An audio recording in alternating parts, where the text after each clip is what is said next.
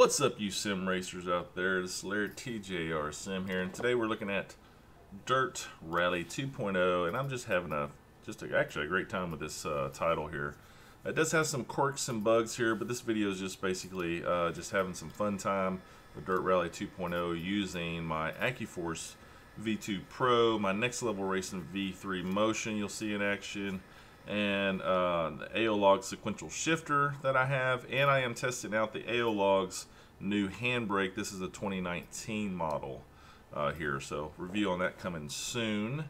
Uh, but it's just putting it through its paces out here, and what a better title to do it on would be Dirt Rally 2.0. So, uh, you know, as you can see here, I was going through and trying to figure out how to repair my vehicle, but this was, you know, starting a new career, and uh, you know, I have no credits here, so I can't really repair the dang thing.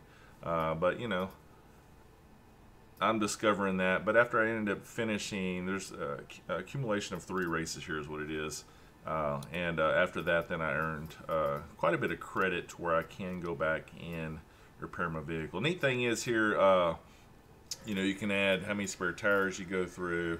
It actually pauses the game when you repair your tires uh, don't pause the game. The countdown's still going, but you know you sit there for about 30 seconds as as uh, your uh, ghost is out there repairing your, your your tire. It would be really cool if they added some uh, footage of it, uh, of like your co-driver getting out there and repairing your tire, or yourself repairing the tire uh, when you're out there on the uh, on the track though. But, but yeah, it's actually pretty interactive with the motion here.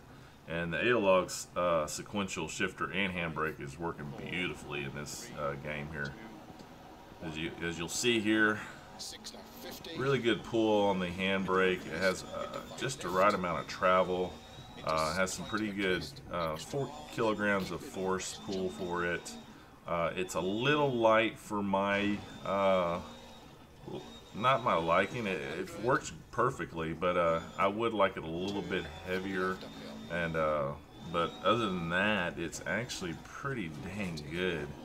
So uh, good feedback through as far as uh, the length of travel uh, feels just about right, and the uh, pull force is, is, like I said, it's it's good. It's adequate enough. it's pretty comparable to say the Fanatec pull force uh, on their handbrake, their version 1.5, except this one's built like a tank, uh, where I've used the Fanatec for years, and uh, it's not built like a tank. Uh, that's the only thing I think they should update on their on their um, product lines is their handbrake and their actually their sequential shifter as well. But uh, yeah, this one's actually working out really good here. And then as you can see the motion going up and down, pushing me around, chunking me around. Uh, motion, Next Level Racing, uh, of course they stepped up. This was already released uh, as an update before, about a month before this game even came out for pre-release. And we're looking at it. You know, this is three days early uh, that I'm on this title, I think. So I hadn't had a whole lot of time to mess with it. Maybe it's two days early. Uh, but I did the pre-order on it so I can get it four days early, which, you know, pre-orders tend to seem to uh, be hit or miss on most of these games, but I like to support racing titles. So I went ahead and pre-ordered it so I can get the extra cool cars as well right out of the bat because I don't have as much time as, as some of you youngsters do um, racing and, and unlocking all these cars. But um, yeah, other than that, pre-order is actually the game's actually running really good. Um, there is some. So I'll tell you what I, I, I, see my findings out of this game so far. The graphics are beautiful. Uh, the only two problems I have, and it's all over the place, that stutter you just saw. Uh, it doesn't matter that I'm running anywhere from 60 to 100 FPS, and I'm running on my uh, 1440p a 3440 by 1440p monitor right here uh, with Acer Predator X34 is what it is. And um, it doesn't really matter that uh, my 1080 Ti is, is more than keeping up with this game. Uh, everything on on some cu custom ultra settings basically. Uh, some on high, some some stuff turned off, but most of it all. Uh, shadows, I think, are on medium, I believe, on this one. But it looks beautiful. It's a beautiful looking game.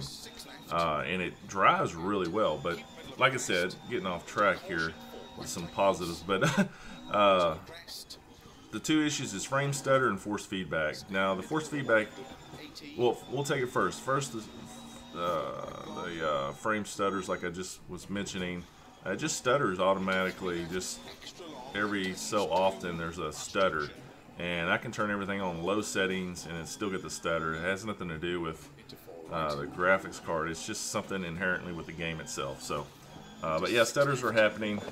Uh, but that is the fix they're working on, and uh, even had them reply back to me on Twitter saying that yep, they, they know about it, they're working on it, and uh, force feedback as well. That's the second one.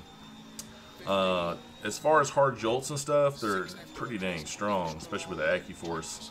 Uh, but uh, you you don't have a lot of road texture feel with the force feedback. That's the only downside for this game right now. but they are working on that as well uh, from my understanding, or what they actually replied back. So, um, but yeah, good stuff. Oh, I think I got. Well, let's see what place I got here. But anyway, uh, frame stutters and force feedback. That's only two things being fixed. Oh, I got second. That's what I got. Awesome. Uh, moving forward, though, uh, the game is working out really well for me. Uh, besides those things, I think once the stutters get fixed, it'll be so smooth to play because, like I said, it's it's beautiful. And then, uh, of course, the force feedback is not, you know, like I said, the only thing you're missing is the road texture feel in it. But you get the hard jolts and uh, and the crashes and stuff. So you kind of have to watch it, keeping those settings at around 100%, maybe 125. Um, but anyway you play with the suspensions, uh, it's not quite there. Now, for settings wise, what I have in game is I have the um, the tires up to 150%, the suspension to 150%, uh, soft lock I think at 100. Uh, the other two top settings, I forgot what it mechanical is at 50, and the very top setting, and I'm going off of memory obviously here, is at uh, 50 as well. So the very first two settings are 50, and uh, I think that's uh, the second one's mechanical. I know the third one's tire. Tire I have all the way up to 150. That gives me a little bit more feeling of what my car's doing, even though I'm not getting the subtle force feedback that I want, but I am able to tell what my tires are doing better at that setting. Suspension setting, like I said, again, going over it, uh, 150, and uh, and that's about it. So as far as the AccuForce goes, I have a little bit of um, friction around 3% and um, inertia at 3% as well. And the wheel setting in the AccuForce is at 540.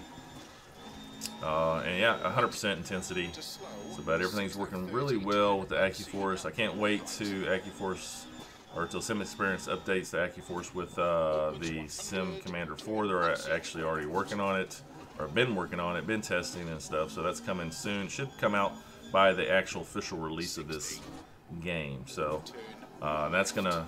It wouldn't even matter if uh, if uh, these guys fix the force feedback because I'll be able to pump up some road textures with the Sim Commander software. So it'll probably be dang perfect then, you know. So anyway, uh, oh, quick note, I got some stuff on the screen here. Uh, you can actually turn on map your windshield wipers, which is cool. Uh, but to turn off your windshield wipers, you got to hold whatever button you map to the windshield wipers. You got to hold that button down and it turns them off. I was, I didn't do it here, but I was cycling through trying to turn these dang things off, and they just kept going faster or slower, faster or slower. But if you hold down the windshield wiper button, turns it off. But uh, anyway, uh, pretty pretty fun game. If you have motion, uh, it's it's it's the bomb, man. Uh, really brings this game in effect. And actually, I'm not. Look at that quick little 180 turn. But uh, you know, even though the force feedback isn't up as high as I like it right now, it's perfect with the motion settings that I that I'm running. So uh, I can share them with you on my uh, Google Drive if you're interested in those, and um, throw it out there for you. So, uh, but yeah, other than that, really enjoying it. Just kind of a quick look at this game. Uh, you get some really good uh, caught in the air moments, uh, especially with the motion, because you know, your motion rig will push forward when you're compressing. You know, the tires going up a hill, and then once you get that unsprung weight at the top of the hill, it just seems like your motion just goes. You know, it just suspends right there. You know, and it's it's a really cool feeling uh, when you have the compression of the tires coming back down when you actually hit the ground and stuff. So, uh, highly recommend someone to get uh, all y'all to get motion. Just go get it. You know, just you know, maximize the moment with your Mastercard. No, I don't know. But if you can't afford it, if it's in the budget, I do recommend motion as well. Oh, man, look at there. There we go. Sliding through that corner. Handbrake working beautifully. Oh, there we go. Yeah, I cannot say enough about this setup that I'm running right now. It's very fun. Sequential uh, shifter of the Aiologs is, is uh, just perfect, really. I just love the feeling of that sequential shifter. Of course, I've already done a review on it. You know, y'all can check that out as well. But uh, yeah, everything I'm running here is definitely recommended. Well, obviously, I bought most of it, so. but but even if I hadn't bought everything, uh, I still recommend what I got when I'm running. It works really well. What we do here? We got seventh place here. Continue on. I think this is the last. Yep, this is the last race coming up here. I think it's like stage three or something. I may have skipped recording the very first stage. I think there's four stages in this particular uh, setup here. But I did some practicing and stuff, and it's pretty neat when you uh, you can lose your doors, you can lose, uh, of course, obviously your tires and stuff like in Dirt Rally, and uh, stop and change them. Your co-driver tends to get excited, more excited. You hear his voice kind of travel upwards uh, a few octaves when you're getting closer to the finish line. Like he's excited that we're almost done with this, and he survived. so pretty neat uh, little stuff here. Some of these corners are pretty tricky. I mean, this is the first time I've seen this track when I, of what I'm racing uh, right now, so it's uh, pretty tricky. Some of these, but I, you know what? I like the the girth of the, of these trails. You know, they're a little bit wider and a little bit more forgiving. You can hit some of the grass here, as you can see, and uh, without upsetting, you know, or without hitting some blind object. Now, I have hit some rocks that were in these grass and stuff, it seemed like, and uh, really screwed me up. But uh, other than that, though, it does have a little bit of a more forgiving track, but still tight enough to where you have a decent feel of speed. Uh, I could stand now in this video the the the speed seems pretty good you know running 60 to 100 FPS most of the time but your in car speed you know at this particular position I am in the car feels a little slow to me when I'm actually driving it. But going back looking at this replay, talking about it, it looks pretty on par. Uh, but that's, you know, it would be nice to have the uh, visual speed uh, increase a little bit on this game too. So that would be my third con.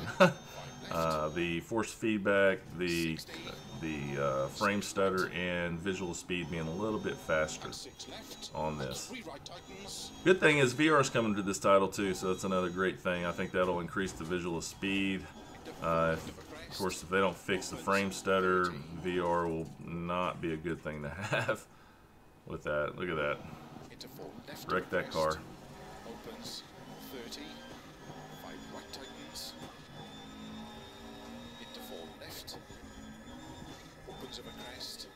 Or you can adjust uh, when your guy talks and stuff as well. I think there's a bump, yeah. You, you get some really good feeling with this motion. You know, when you finish a race, dirt a dirt rally 2.0 race with this particular setup I have with the AccuForce, the uh, next level racing V3 motion, and of course using the handbrake and shifters and stuff, uh, you're pretty damn tired actually. So it's not like it's just sitting in a static rig, you know, and you can just go for hours and hours uh, uh, without being not winded, but you know, a little, little uh, tired because you know this rally racing is is kind of uh, stressing to your mind as well to try to look far enough ahead. Oh, that's a fun jump. uh, far enough ahead Uh, so it does have some stress on you right there. But then you got the motion actually throwing you around as if you're in the dang car. And uh, yeah, so it's it gets pretty dang involved. Very, very immersive. Anyway, that's gonna, uh, you know, this is gonna finish up the first look at Dirt Rally 2.0. Of course, uh, running full motion, AccuForce before Sim Commander 4 gets their update. And um, all the Aiologs goodies there, sequential shifter and handbrake. Uh, working beautifully here as well. And that's my favorite tree.